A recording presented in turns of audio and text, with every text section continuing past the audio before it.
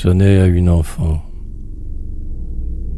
Tes yeux verts comme l'aube et bleus comme la brume ne rencontreront pas mes yeux noirs de tourment, puisque ma douleur t'aime harmonieusement, ô lys vierge, aux blancheurs de nuages et d'écume. Tu ne connaîtras point l'effroi qui me consume, car je sais épargner au corps frêle et dormant la curiosité de mes lèvres d'amant, mes lèvres que l'hier imprégna d'amertume.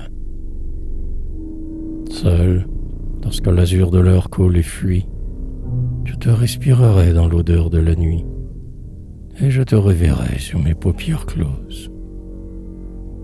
Portant, comme un remords, mon orgueil étouffant, j'irai vers le martyr ensanglanté de roses, car mon cœur est trop lourd pour une main d'enfant.